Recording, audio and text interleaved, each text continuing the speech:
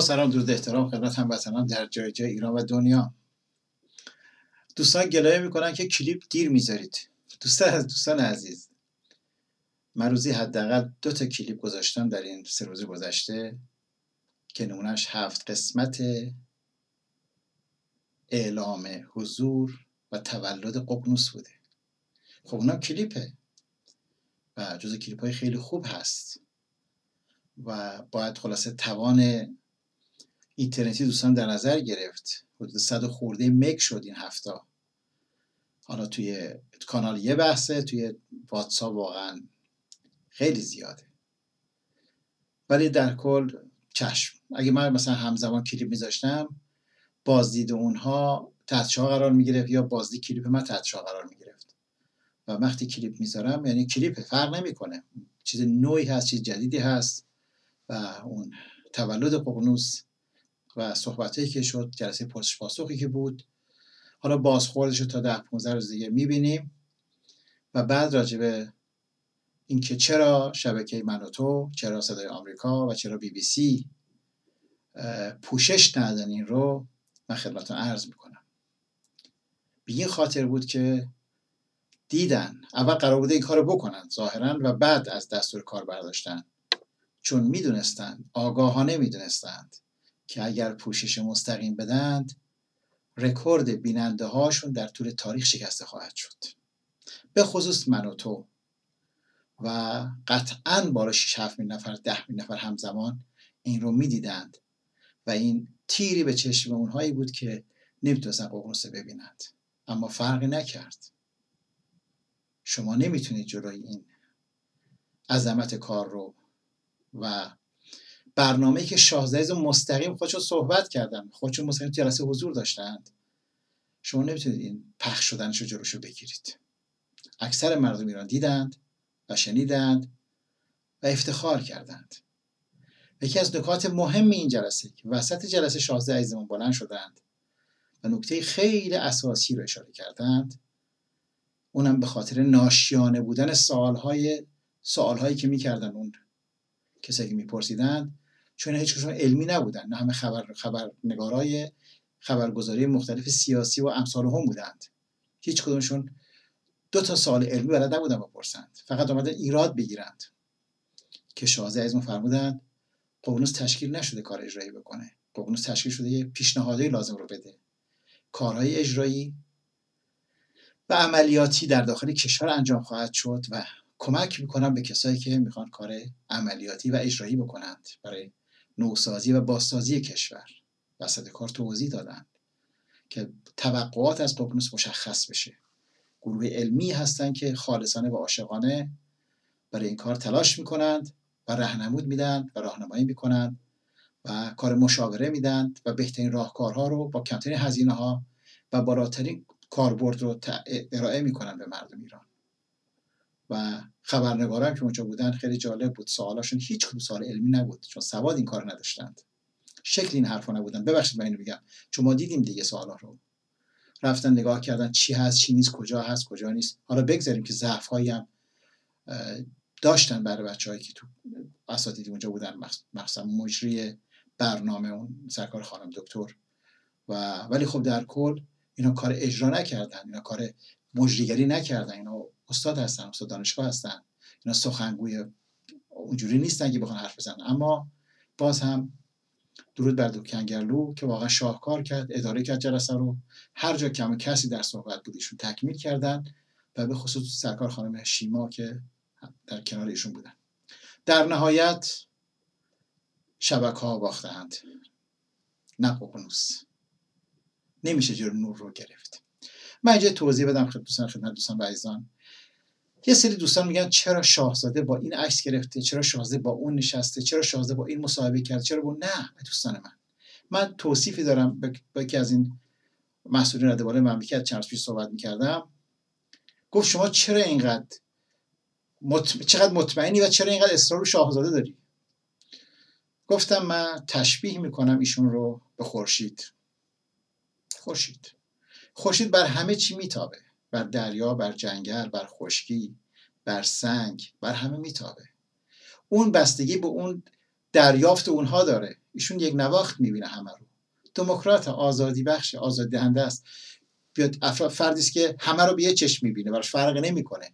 اون بستگی به سیاهی و سفیدی اون فرد و اون جسم و اون چیزی که دریافت می‌کنه داره. خودشون می‌دونند. بازتاب اونها مهمه. گفت بله این حرف شما می‌رسه. گفتم تنها کسی که این توان رو داره که اینجوری برخورد بکنه با مردم و روشش این هست و منشش این هست شاهزاده است. غیر از اینه هیچی تسلیم شد. علاقه که می‌گفت که ما بعضی با, خیلی از حرفاتون مخالف ولی حرف درسته. گفتم حرف منم همینه. من اگر از اسم شاهزاده میارم و اسمی حرف می‌زنم من بر اساس یک بینش و نگرش لاقل 40 50 سال تجربه تو کار دارم. من دنیا رو زیاد دیدم بالا پایین زیاد دیدم. حکام زیادی رو دیدم. ایشون کاملا بیطرف و آزادمنش هستند. همه رو به یه چشم می‌بینند. و این عالیه و ملت ایران همینو کم داره. اون رئیس جمهور نیست که فقط اونجا رو ببینه این نیست که این ببینه این حزب نیست که اونو ببینه اصلاح طلب نیست اصولگرا نیست چپ نیست راست نیست. عین خورشید میتابه. فرق هم نمی‌کنه. دوست و دشمن طرفش برن. بفرمایید. بیایید ماهیت نشون بدید. بیایید توانتون نشون بدید. بیایید چه کار می‌تونید بکنید. باستابتون چیه؟ ایشون یکسان میتابه. اون بازتاب هاست برخورد هاست روش هاست که نشون دهنده اون نور گیرنده است. دیدیم داری چند روز. خیلی ها اومدن و خیلی حرفا زدن. خانمی زنگ می‌زنه که آقا تشر بزنید. سرکار خانم چطور زمانی که زم و امثال هم توین می‌کردن نمیگه تشر بزنید؟ چون حالا یک تجزیه طلب اومده تو هم تجزیه طلب هستی و خوب خود ضایع کرد من می‌دونستم من. چند سال تو رو می‌شناسم. یه نکته دیگه دوستم که اشاره کنم. یکی از کار زیبا و آموزنده شاهزاده این است که با همه از تبادل نظر می‌کنه. رمز موفقیت همینه که ما موافق و مخالف رو ببینیم. رمز موفقیت همینه که ما ببینیم که مخالفمون چی میگه. نکات خوبش رو بگیریم نکات بچه بزنیم دور. ما بارها خدمتتون عرض کردم حرف همه رو گوش کنیم کار خودمون رو بکنیم. و تو همون حرفای منفی هم مثبت هست. وقتی حکم درست شد یک خب اگه خواست سقوط کنه بیفته چی میشه؟ چترجات ساختند. اون با دید منفی نگاه کرد اما از برداشت مثبت شد. زمانی ما می‌تونیم بفهمیم داخل کشور چه خبره در دنیا چه خبره که روزنامه مخالف و موافق رو با هم بخونیم. چپ و با هم ببینیم. وقت می‌تونیم تجزیه تحلیل کنیم و برداشت کنیم و به نتیجه برسیم. اصل اینه. کار شاهزاده زمان همین هست. اون میاد آقا فلان کار وقت داشته باشن. بله. بعد افکار میاد تخلیه میشه. ایشون اون چیزی که باید دریافت کنه دریافت می‌کنه. اصل همینه. و این شاهکاره. اگه هر کس به این منش برسه به این روش برسه قطعا برنده است. کاری که ایشون می‌کنه. و هیچ از هیچ کسی حمایت نمی‌کنه ایشون. از هیچ چی حمایت نمی‌کنه. راهنمایی می‌کنند هدایت می‌کنند. حمایت زمانی هست که عملکرد اونها باعث حمایت بشه. نه شعار و نه حرف و نه چیز. عملکرد مهمه. دو صد گفتار چون نیم کردار نیست. عملکرد شما. خیلی اومدن پیش شاهزاده و گفتن آقا شما رو حمایت کن. یا اسم ما رو بیار گفتن باشه. اون باید برید بعد راندمان شما. عکس العمل عکس عمل شما. بازخورد شما. نتیجه کار شما مهمه. وگر نه من آنم که باید پهلوان. نه. شما باید بیاید و یاد بگیرید. اگر ایشون میاد به شما کمکی می‌کنه به خاطری که سریعتر به نتیجه برسید. اونم چیه؟ برای نجات کشور. آزادی و آبادی کشور و این ملت در بند این ملت اسیر. نه که بگین آقا ما دیگه تموم شد. پشت سر شازده قایم شدن به هیچ جا نمی‌رسید. سوابق شما رو پاک نمی‌کنه. من اینا رو گفتم جهت اطلاع که اگه شاهزاده با مخالف و موافق بشه دلیل عمدهش همین هست. ببخشید با دور عینک بزنم.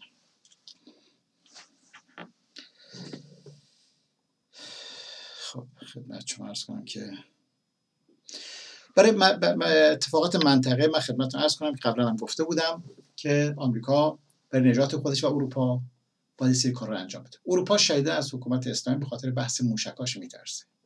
و ما دیدیم و می‌دونیم خود دنیا هم می‌دونه که اینا موشک ندارن و اگر موشکی هم باشه کره شمالی داره و کره شمالی هم به خاطر پول دست به هر کاری می‌زنه. این احتمالش هست. جلسه ای که امشب دارن نشستی که امشب دارن می‌خوان تتمه دندون های کره شمالی رو بکشند. روسی هم که هارت هورت می‌کنه من موشک می‌زنم پلان می‌کنم. تو یکی بزنی خودت می‌دونی 50 تا می‌خوری. در شکی نیست. مگر می‌خواد خودکشی کنه روسی اون بحث علاقه است به ایران ارتباطی نداره. به ملت ایران هم ارتباط نداره. اون بحث دعوا بین خودتونه. به هیچ کس به ما کشور ارتباط نداره. شما هر کار می‌خوای کنی خودت بکن. در نتیجه کره شمالی که امشب بره بشینه پای قضیه و دندوناشو بکشن به قول معروف فیلترها ازش بگیرن و کاری از انجام بده حشد شبیه پشت سرش هست. حزب الله تقریبا تموم شده است. و حوثی هم تموم شده است. بعد سپاه قدس میونه خودش کاری که مثلا امروز آقای ظریف دیروز کرد من خود باز کنم براتون. پس اینو بهتون بگم که این برنامه رو حساب هست و طبق گفته خودش خود آقای ترامپ که سه ماه در سه ماه اول سال میلادی اتفاقی خواهد افتاد کاری انجام خواهیم داد. منظورش قبل از دوازده فروردین سال آینده است که دقیقا پایان چهل سال حکومت است. ببینید ما می‌دونیم در کشور ما چند تا حکومت هست. چند تا حکومت هست. بعد چند تا وزارتخونه موازی هست. یکی وزارت اطلاعات هست اطلاعات سپاه هست اطلاعات سپاه قدس هست. حالا بسیج و طائف اینا بره خودشون داره بحث علایت است. اونا کوچیکاش هست ولی موازی کار می‌کنند. در نتیجه همیشه تنش دارن بین خودشون. داره شک نیست. الان هم اگه بگر ببند داره می‌بینید و ندارم از آی تلفن فلان می‌گیرن و دوزیار می‌گیرن کار وزارت اطلاعاته. کار سپاه و سپاه قدس نیست چون خودشون شریک دوز هستن و رفیق قافل شک در قصه نکنید. پس چند تا چیز موازی است. یکی از اینها وزارت امور خارجه است. وزارت امور خارجه است و خدمت شما هستم وقتی ظریف چیز دعوت کردن اسد دعوت کردن ظریف خبر نداشت اصلا. شوک شد. آقا من کار نمی‌کنم گفتم بهتر. آقای ظریف تو نمک خوردی نمک شکستی. حقت اینه که پستر آخر تلخ باشه. حقت اینه که آخر جاده تو بمب هم بنبست باشه هم دستاندازی وحشتناک باشه. هم تو هم روحانی. همتون دروغگو هستید. به ملت ایران خیانت کردید به کشور ایران خیانت کردید به جامعه جهانی خیانت کردید. حقشون اصلا حق ملت ایران است که برای سرزو بیاد که تو رو عدد حساب نکنن. نیستی هم. از اول هم نبودی. تو هر کاری کردی بدون اجازه خامنه‌ای آب نخوردی. توقع نگرد داری نه تو آدم بی ارزو بی لیاقتی هستی. سفت وای میسیدی بازم برکنارت می‌کردن. شورم وایسه برکنارت کردن. الان وقتی که میاد روحانی دیروز میگه که آقا سپاه ارتش و نیروهای نظامی از اقتصاد برن بیرون اقتصاد نابود کرده اقتصادی وجود نداره. آقای روحانی تو چی حرف می‌زنی؟ تو اختلافات با خامنه‌ای سر ملت با خالی کنه هیچ جا نمی‌رسید. شما نه اقتصاد می‌دونید نه سیاست می‌دونید نه اجتماع می‌دونید نه دین می‌دونید. هیچی نمی‌دونید شما. تا حالا همینجور به قول یلی تللی و اتفاقی تا اینجا رسیدید اون هم با له کردن مردم ایران و کشور ایران. ولی دیگر آخر خطه تمام شده هستید. این سازمان های موازی وزارت های موازی و امثال هم همینجا می‌رسه و همینجا ختم میشه. شک در قصه نیست. و چون قدرت و پولم تتمش هم دست قدس سپاه قدس هست سپاه و وزارت اطلاعات هم خلاصه باید بره کار سرنوشت ظریف دچار بشه. شک در قصه نیست. و میاد مثلا تو این بحبوحه مثلا تو این جریان قاسم سلیمانی میره برمیداره چیزو میاره به کجا برمیداره؟ قاسم سلیمانی برمیداره این یارو چی اسمش؟ همین اسد میاره اینجا. که چی بشه؟ تو پوز دولت بخواد بزنه. خب این هست دیگه. تعارفی نداریم با هم دیگه. در نتیجه این هست که اینها بهشون برمیخوره اینها میان به قول معروف می‌خوان اکسیانشون بدن ولی مردم خوشحال میشن. هر کدوم از شما بیفتین تایی چا به نفع ملت و کشور هست.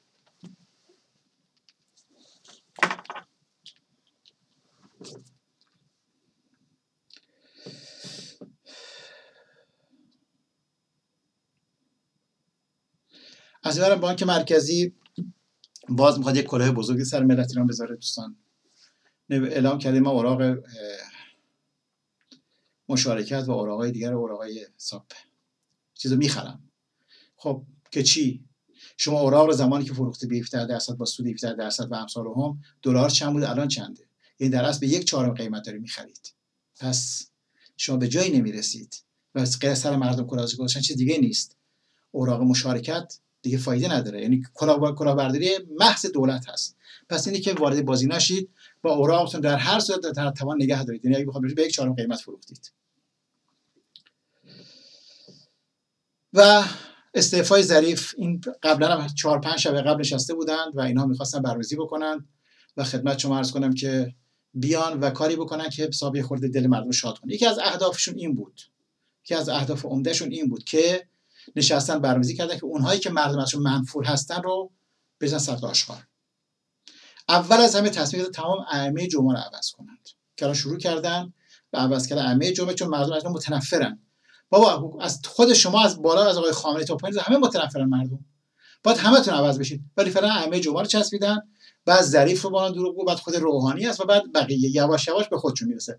هر حکومتی آخر کارش هم اتفاق خواهد افتاد بدون بر برگرد.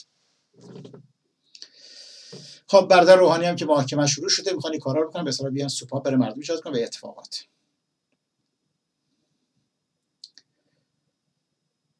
پس اوراق مالی رو تحت هیچ نفروشید بانک مرکزی واسط کلا بذاره حق شکایت هم دارید مگر اینکه بیاد به قیمت روز با محاسبه دلار اون زمان حساب کنه و بهتون بخره. اما یک مسئله دیگه که هست خیلی مسئله مهمیه به دوستان باید بگم پس مذهب است. مذهب در طول تاریخ توسط دلالای دینی این چه اتفاقی افتاده؟ مذهب این بوده همیشه آلت دست بوده توسط دلالهای دینی واسطه های دینی. یه سری با مذهب میان سر کار خودشون مطرح می‌کنند.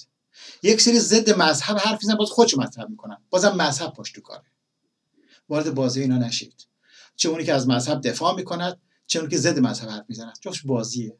جفتش مطرح کردن خودشون هست. پس بیاین وارد بازی اینا نشیم. آقای مشیری میاد ضد دین حرف می‌زنه. خب تو توانت نشون بده. تو چه کاره بودی؟ با پشت مذهب قرار گرفتن و به مذهب تو این کردن به کجا می‌خوای برسی؟ هدفت چیه؟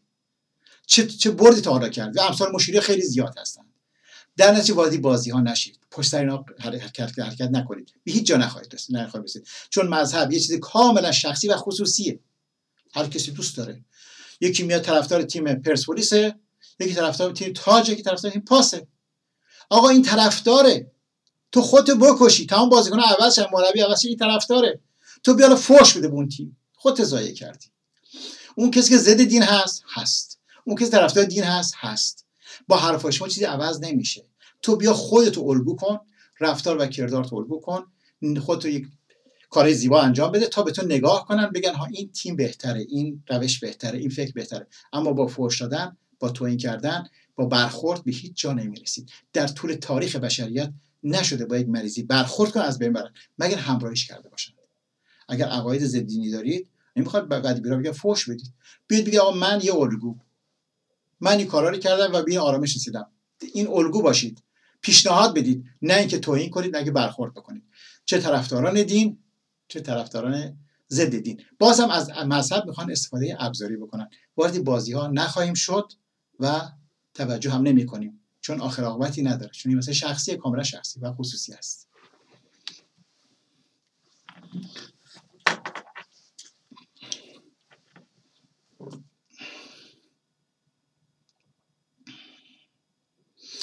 اومدن یکی از چیز دیگه تصمیم گرفتن انجام بدن که همون در راسته هم بحث تعویض امام جمعه هاست و بعضی وزرا هست و با دستگیر کردن یه عده‌ای هست و که امثال هم آمدن اعلام کردن سال آینده آسان قدس باید مالیات بدهد. ساعت خواب. بعد آسان قدس قبول نمی‌کنه چون آسان قدس به اون هزینه بورس عادت کرده. صنعت نابود کرد آسان قدس کشاورزی نابود کرد اقتصاد نابود کرد. جوونا رو نابود کرد. حالا می‌خواد بعد از چهل سال بگیم مالیات بده. چهل سالش کجا بوده؟ تو بانک آمریکا همش هم بازداشت شد همش هم گرفتار شد. همینه. آستان قدس که دوز باشه دیگه حساب کارشو بکن بقیه حساب کارشو بکنن و اینها راه به جایی نخواهد برد. مردم راهشون رو پیدا کردند و نفس آخرتون هست که دست به این کارها می‌زنید و راه به جایی نخواهید برد.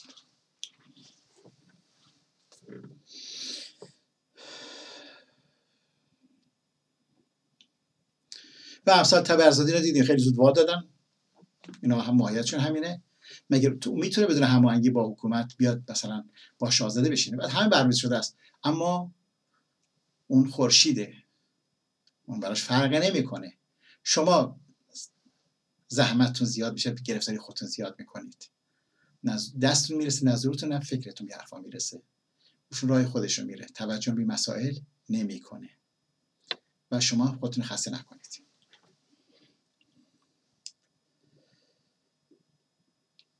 در مورد افاقنه خیلی سوال میشه که چه اتفاقی میفته دوستان عزیز؟ من اینو قبلا سه چهار سال قبل گفتم بازم تکرار می‌کنم. ایران افتخار خواهد کرد که کشوری بشود آرمان کشور دنیا نه که کشور افغانستان. تمام کشورهای فارسی زبان منطقه و حتی کشور اروپایی بیان بگن آقا ما می‌خوایم بیایم تبعی شما بشیم. ما می‌خوایم تو کشور شما بیایم. ما می‌خوایم بیایم اینجا. ایران هم جا داره هم امکانات داره و هم پتانسیلش داره و هم کار هست. ما بخوایم درست کشاورزی بکنیم درست دامداری بکنیم. کار توریست انجام بدیم نیازی به نفت و گاز حرفا نداریم. و برای همه هم کار هست. اینقدر وسعت داریم اینقدر امکانات داریم. از شیرات بگیرید تا الی آخر. و اینو بدونن برادر افاقان کشور ما ما هیچ مشکلی نداریم باهاشون تا جایی که من می‌دونم. و ما مطمئن هستم که اونایی که هستن داخل کشور بیان همراه مردم باشند در کنار مردم باشند و قطعا بدونن که اونهایی که اینها تحریکشون می‌کنن حرفایی می‌زنند اونها دنبال بلبشو و شروع بازی هستند. ایران مهمان پذیرترین کشور دنیاست.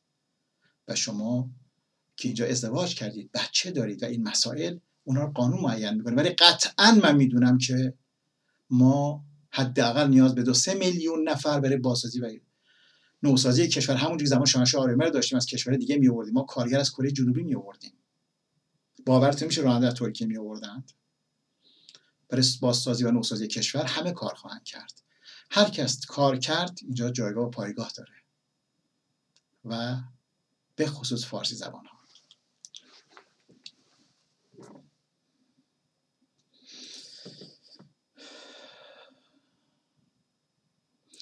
در طول این چهل سال خسارت زیادی به کشور زده شد. اما یه چیز چند چیز نستن تغییر بدن. آین ها رو. سنت ها رو نتونستن تغییر بدن. تغییرم نکرد. عید و نوروز خواستن حذفش کنن. نتونستند چهارشنبه رو خواستن حذف کنن. نتونستند خیلی از سنت ها رو خواستن از بین نتونستند چه مذهبی چه غیر مذهبی و این تیری بود در چشمان اینها و اینا نفهمیدن این قصه رو. اگه میفهمیدن خیلی فرق کرد الان می‌بینیم باز همون ها هست. بعد از چهل سال کار فرنگی کردن زمین و زمان به هم دوختن. هزار حدیث و روایت دروغ آوردن. بازم مردم نوروزشون رو پاس میدارند. چهارشنبه و سنت دیگر چیکار می‌کنن؟ پاسداری می‌کنن. و این تیری به چشم شماست. و این خیلی خوب است کشور ما و ملت ما.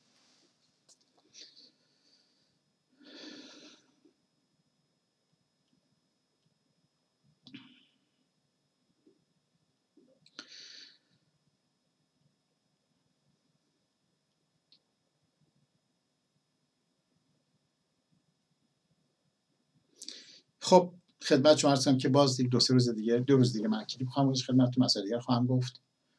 اما روال حرکت این سمت هست که سمت هست که خدمت شما هستم که دنیا بی چی رسید مردم بی چی رسیدند که کار حکومت تمام از خود حکومتی هم فهمیدند. ارتباطاتی با من برقرار میشه تماسایی گرفته میشه. بازخوردهایی که من می‌بینم همشون منتظر یک شوک هستن تو کشور که این شوک به زودی اتفاق خواهد افتاد. از کدوم طرف از چیز بعدا صحبت خواهیم کرد؟ بازم کوتاهی بنده در ارائه کلیپ ببخشید چون گفتم کلیپ هر روز من میذاشتم اما کلیپ باید خودم صحبت با جنبندی بکنم. و خوشحالم که این روزها رو می‌بینم ذلت و خفت حکومتی می‌بینم. به جون هم هم افتادن گرگ ها کرکس ها کفتارها روبه ها رو دارم می‌بینم. این روزها روزای خیلی خوبی است. خالی بنده خامنه‌ای توجه بهش نکنید. من از تمام دوستان داخل کشور می‌خوام تعصب بذارید کنار واقعیت ها رو ببینید. اونایی که خورده هنوز فکر می‌کنن که ایشون امام هستن عملکردشون رو ببینید. من آقای خامنه‌ای تا زمانی که من روز نمی‌دونستم چون ایشون وقتی که آمد سر کارش رئیس جمهور گفته بود تمام طرحهای زمان شاهنشاه آریامه رو چشم بسته من امضا می‌کنم. طرح کار شده بود حرف جمله خود شخص خامنه‌ای هست. زمان رئیس جمهور بودن اما زمانی که ناصر تبسی 17 میلیارد تومان مثلا 20 چند سال قبل رو برد. از امام رضا دزدید به قول معروف و از اون بلیط های چیچک دوزی دو میلیارد خورده آورد دوبه و داد افاقنه و بعد دفتر گرفت اینها. به من گفتن که خامنه ای بی اینا گفته تا این پول تگ روشن برنگرد ایران. گفتم خب این خیلی خوبه. تو پرونده من خیلی کمک کردم خیلی کارها کردم. تلاش زیادی کردم تا اونایی که پولا رو خورده بودن بازداشت شدن زندان رفتن و و و و بعد یه دفعه اینو برگشتن ایران. دادگاه رفتند و با تلفن حالا شخص خامنه‌ای فرق نمی‌کنه حمایت خامنه‌ای به خاطر تبسی گفتن علم به قانون نداشتند. افرادی هستن که برای 100 هزار تومن 200 هزار تومن اون زمان 7 سال زندان کشیدن 17 میلیارد تومن اون زمان پول رفت. 17 میلیارد تومن دلار زمان درست 120 تومن بود رفت. ولی از همونجا فتحچی خامنه چشم افتاد فهمیدم اینم دروغ میگه. خودی و ناخودی دارند. و ماهیت نشون داد که از تبسی به خاطر ضربای دست داره و هر چی از فرق نمی‌کنه. کسی که محض لله کار کنه کسی که دین چیز باشه با هیچ تعارف نمی‌کنه. اما دیدیم که خلاصه سعید توسیا و خیلی های دیگه ماهیت واقعی روشن کرد و تا الان که دیگه براش اصلا ایران مهم نیست لبنان مهمه سوریه مهمه حشد شعبی مهمه. حوسی یمن مهم هستن و کشور ایران هنوز هم اون توق لعنت گردش میندازه شرم اتباط روز آخرتونه نفس آخرتونه. ها زیاد شده خیلی دارن فرار می‌کنن. استعفاها دو رقمه هست. یکی استعفای که گفتم باید چیز بشه پاکسازی بشه یه سری می‌خوان فرار کنند. اما هر جای دنیا برید آن را که شهنه رها کرد خدا می‌گیرد. عزیز دیر ایام بکن روزگارتون خوش